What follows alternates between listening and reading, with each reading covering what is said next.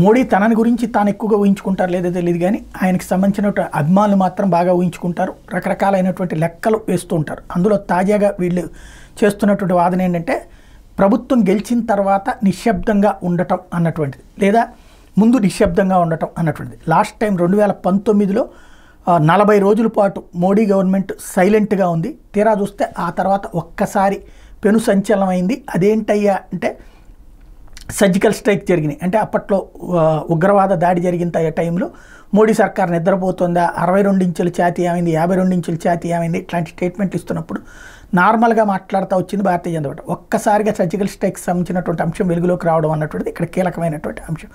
ఇప్పుడు అదే గుర్తు చేసుకుంటూ ఏదైనా మళ్ళీ ఒక భారీ యాక్టివిటీ జరగబోతోందా అన్నటువంటి చర్చ తెర మీదకి వచ్చింది